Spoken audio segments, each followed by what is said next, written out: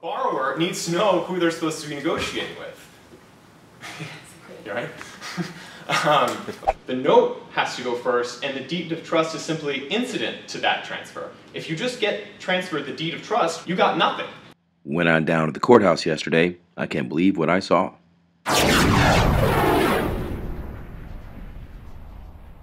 They've totally obfuscated who actually owns what, depriving Ms. Pardo of her ability to actually negotiate with the note holder and come to some agreement. Originally, the note holder was uh, the Land home. land home, right? Yes, ma'am. Okay. And then land home assigned it allegedly to who? We have no idea. Oh, that, that's the problem. That's why we're here to get discovery, to figure out what happened. They, as we allege, they go into the MERS system, which is designed, or at least as a part of it, as a function of its design, to obscure who actually owns what.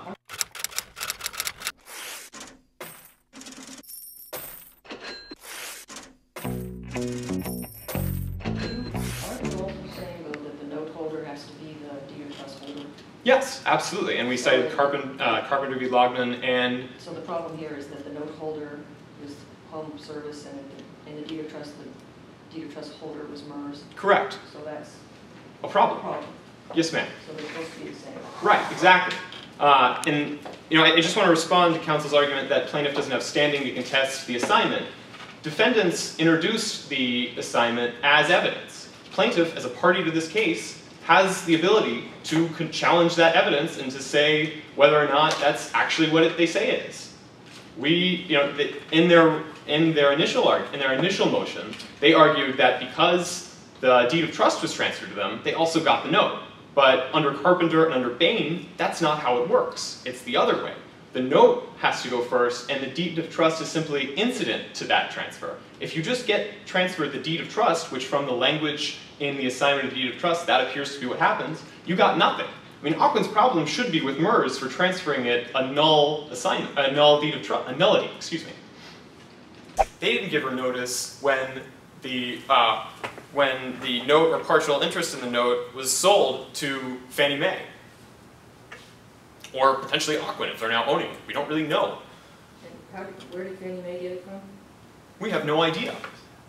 this is the problem. You know, we- they put it in this MERS system. It goes behind this curtain.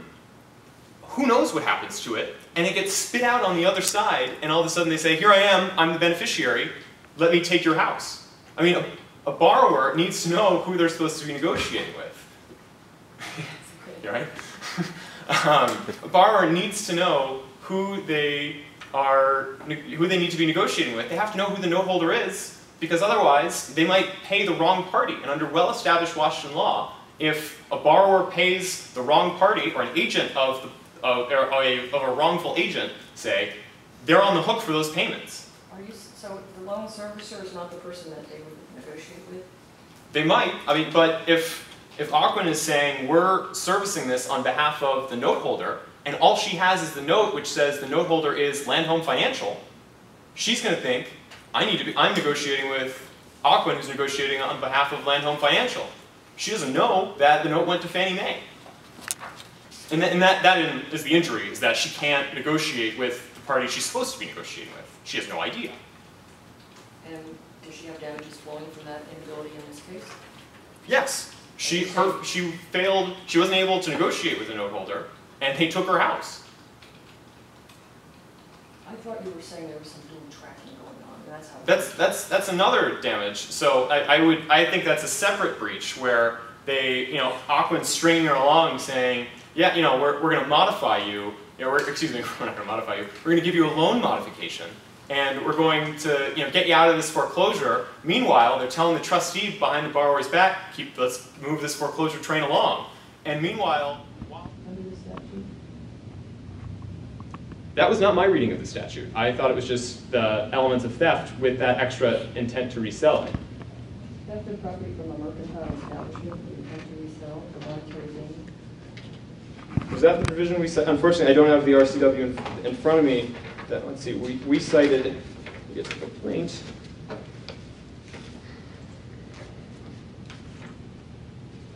So we cited 9A82010400. Oh, not nine A fifty-six, three forty? Correct. Yeah, the, the theft with intent to resell we were citing was Say it again, 9A? nine A A, yeah? dot eight two dot oh one oh four You went. Four. and then oh oh. A lot in there. Also amounts to mortgage fraud. Uh, so with, with that in mind, not only do should uh, defendants' claims for attorney's fees on that fail because we've read you know these are reasonable allegations, that that claim should survive a 12b6 motion. We've met, we you know we've provided facts and alleged that all of these acts of these uh, these acts of criminal profiteering have occurred within the past five years. The defendants seem to want a full-blown trial brief. They're entitled to, under eight, under CR eight, a short and plain statement of the uh, facts giving rise to liability, which is an inelegant way of quoting that rule. I'll, I'll represent. Uh, but you know, in the in the complaint, plaintiff isn't required to prove her case. She's just required to give notice to the other parties that here's what I'm claiming, and this is what we're going to be arguing about. And now, you know, the defense seems to, you know, be a, uh, takes issue with the fact that each defendant isn't individually named in each cause of action. For, first, I posit that the criminal profiteering and civil conspiracy sections explicitly say defendants.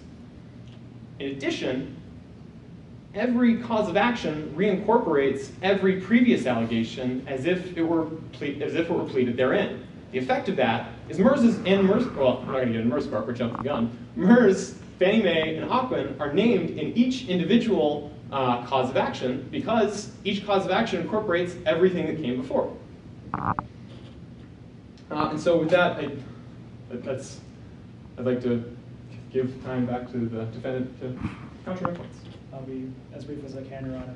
Um, Slowing down for a moment, the big question here, there seems to be a question raised by plaintiff about she didn't know who to pay because there was a question about who owned the note, but she, she doesn't allege that she didn't know to, who to pay. She doesn't contest that she stopped making her payments, and she doesn't contest that she did an attempt to enjoy the sale.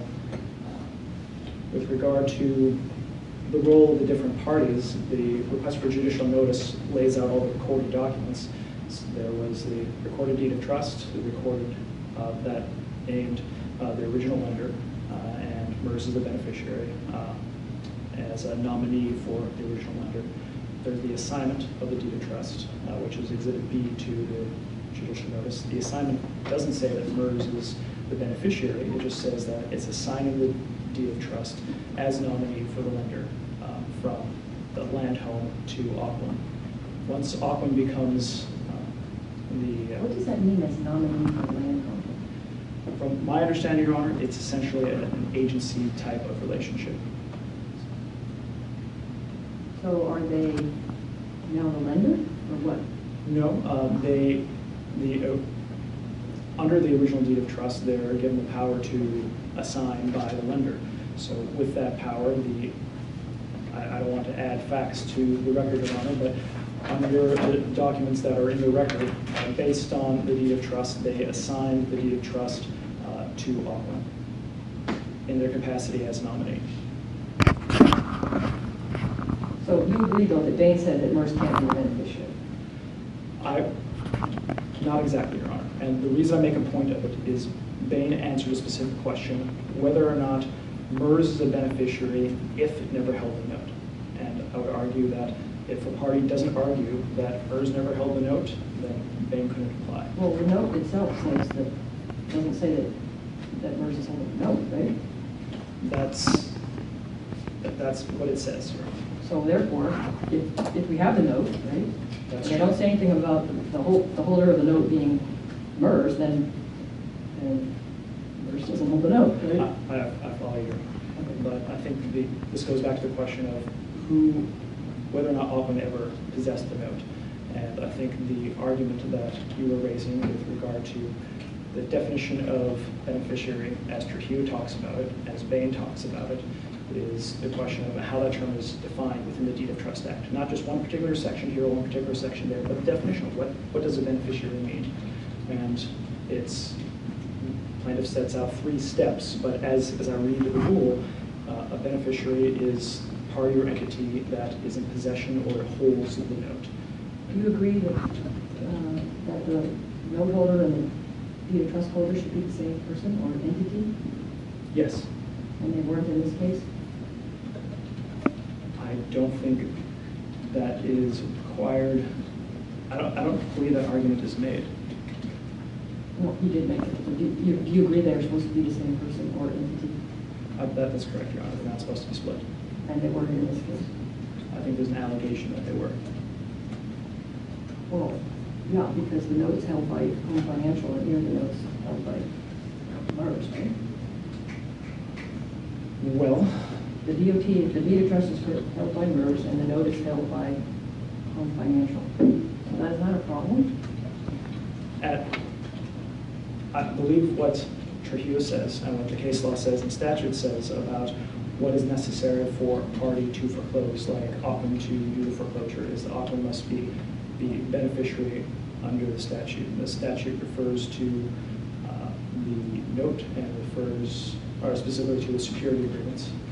And there's, my reading of the complaint is that plaintiff does not allege that Au- Ocwen did not hold the deed of trust or did not hold the note. The assignment from uh, MERS to Ocwen uh, specifically says that all rights under the security agreements and the deed of trust are assigned to Ocwen. Do you agree that if MERS didn't have the note, when it made its assignment of the deed of trust to Ocwen without the note, that would not be valid then? I can understand that argument by plaintiff, by plaintiff, Your Honor, but Didn't you just say there's supposed to be, supposed to hold both? in order for the foreclosure to move forward, Ocwen need to uh, hold both the deed of trust and the note, that's correct. But based on the recording, recording act, I don't believe there's any requirement under statute or any case decided that uh, make it necessary for that assignment of deed of trust to have been recorded, or that somehow makes Ocwen not the holder of the note and the deed of trust. And this goes back to the alleged damages and causation. The plaintiff is claiming that apparently that because of this error, that she should be able to have her property back, but she, there's no allegation that she didn't know who to pay. She, there's no allegation that, again, Ocwen was not the holder, uh, just that was not the beneficiary.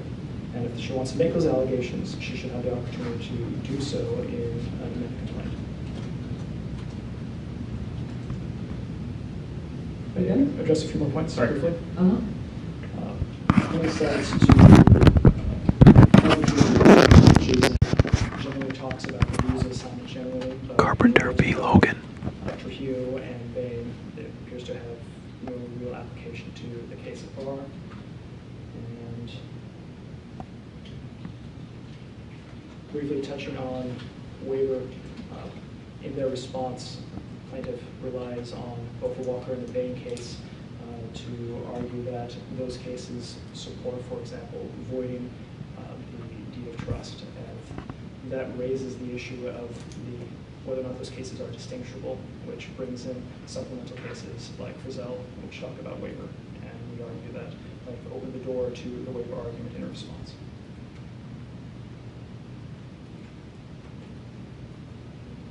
That's all I got, May I make just two very quick points, then I'll. So I first want to address the nominee argument. Uh, in Bain, the Washington Supreme Court said, just naming MERS as a nominee does not give rise to an agency relationship.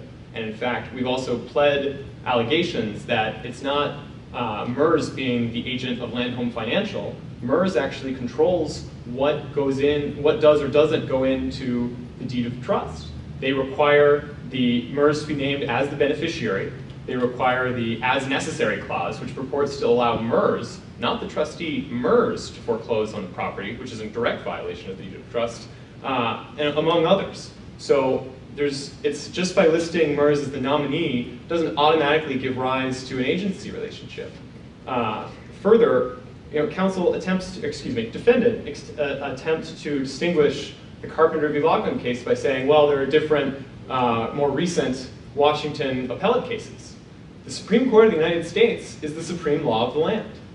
Unless it, they, they interpret the law that applies to all 50 states, including Washington. I am not aware of any authority that allows for a state appellate court to overrule a United States Supreme Court decision. And I'm also not aware of any authority that says just because a case was decided 140 years ago, that means that it no longer should be followed. I'd argue that a lot of our very big cases were, argued, were decided many years ago, and they should be followed under principles of stare decisis. That's all I got. Okay, well, um, you know, on the waiver, uh, I'll, I'll just say, you know, the statute you were, you were talking about, sixty-one twenty-four oh four oh, um, it, it does say that, uh, failing to object to a foreclosure, sale, and bring a lawsuit may result in waiver and challenges to the validity of the sale. Uh, it doesn't say shall, it's may, and it's really, um, the court does consider equitable, equitable circumstances. Um, And Bavand, which I thought I copied, but I guess I didn't, said Bavand v. OneWest Bank, I think the plaintiff cited that.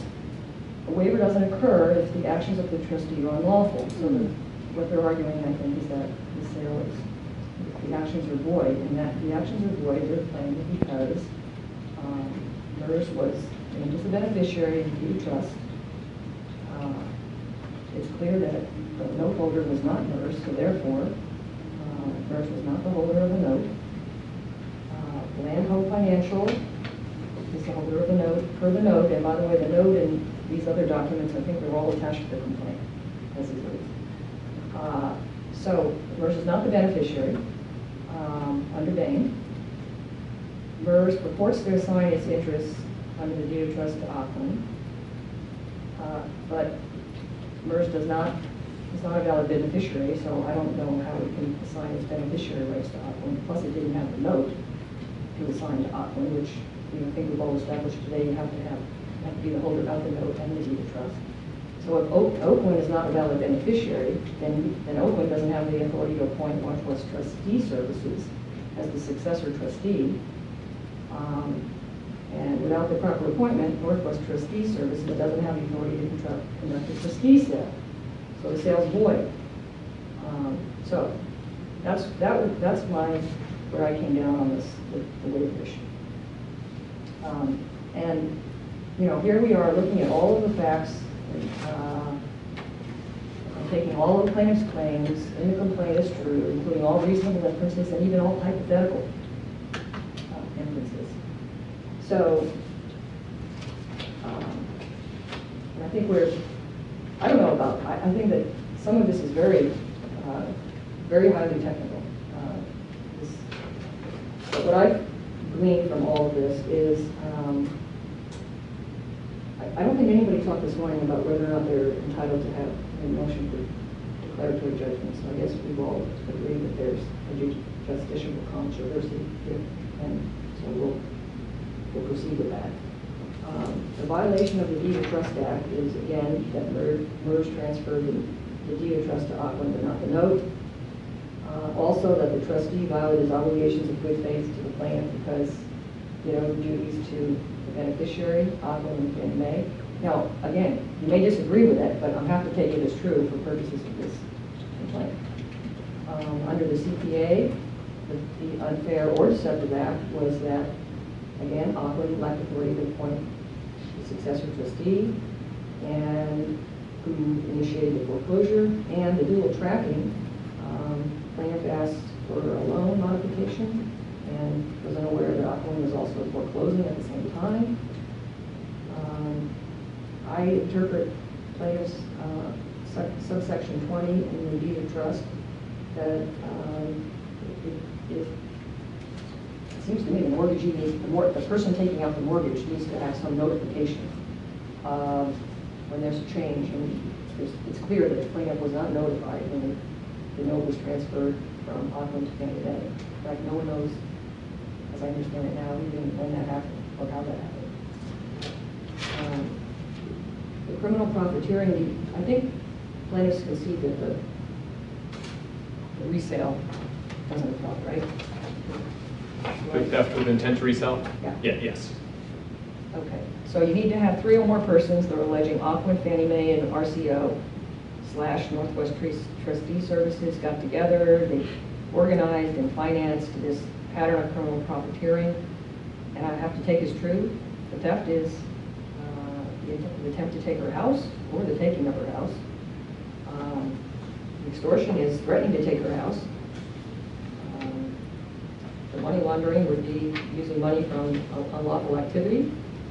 Um, And uh, the mortgage fraud would be misleading the borrower during the lending process, making misstatements and misrepresentations. Assuming those allegations in the complaint are true, then the motion to dismiss, with the exception of the theft with intent to resell, or would be denied.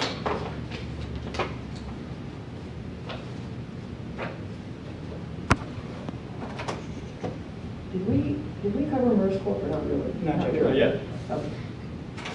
All right, let's go on to MERS Corp. Should we just prepare orders all at the end? Yeah. May I take a moment to go get a drink of water? Sure. Would you like me? I'm good, but thank you. Dismiss those claims is also denied. Let's see, I'm sorry, which one did I not mention? Equitable relief, civil conspiracy, and negligence, right? Uh, The allegation of civil conspiracy was uh, when Ocwen and Fannie Mae directed Northwest Trustee Services and RCO to foreclose on on property. So, because you need to have two or more people entering into an agreement to accomplish an unlawful purpose. So if the end result was unlawful, which we have to assume it was, when Ocwen and Fannie Mae got together with Northwest Trustee Service to foreclose on Farmers property. So that's that. Your Honor, may I ask a question? Yeah. Does that also apply to MERS? I don't think we're talking about MERS right now, no. No, we did allege that MERS was a part of that criminal, or excuse me, civil profiteering when they agreed You to, mean civil conspiracy? excuse me, yes, civil conspiracy. When they Uh, assigned the DOT to Ocwen? Yes, ma'am. That was them being a part of the conspiracy to take, or to effect the unlawful trustee sale. All right, so MERS is part of the civil conspiracy. Are you, you're not, are you alleging any negligence against MERS? uh, that they purported to be a beneficiary when they weren't, in violation of the DTA, which, uh, under Schofield, uh, the 1945 case we cited, constitutes negligence per se because it's an injury to property.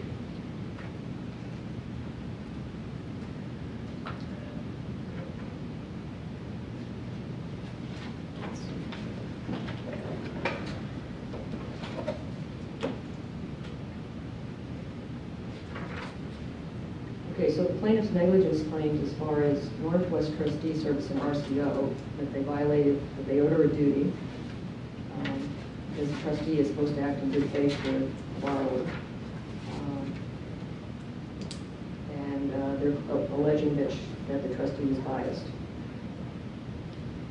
Okay, so that, and then, I'm sorry, equitable is on page, Your Honor, I I hesitate to interrupt. Can you clarify? I I heard you mention Northwest Trustee Services and RCO and the negligence. Did you also say MERS as well? are you alleging MERS? That's negligent? Yes. I Yes. believe they are. Okay. What was I just talking about? I Or, believe oh, I'm sorry, go ahead. Northwest Trustee- Trustee Services and RCO.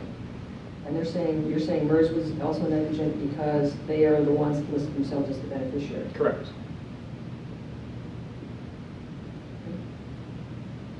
All right? Equitable relief. Um, So on equitable relief, you're talking about uh, Northwest Trustee Service, RCO, and Fannie Mae?